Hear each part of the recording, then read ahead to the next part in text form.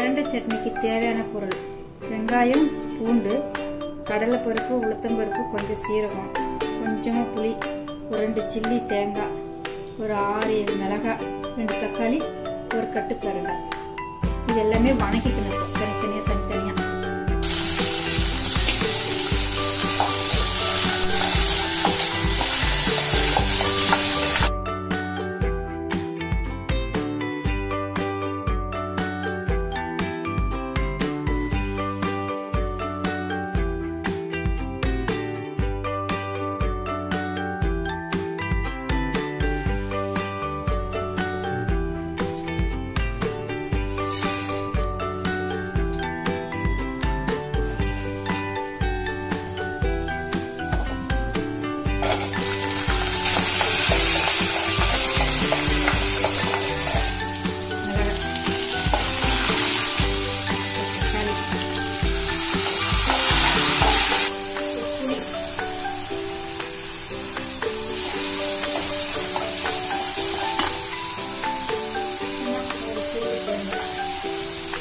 நல்லா ஆறிடுச்சு மிக்சியில் போட்டு அரைச்சிக்கலாம்.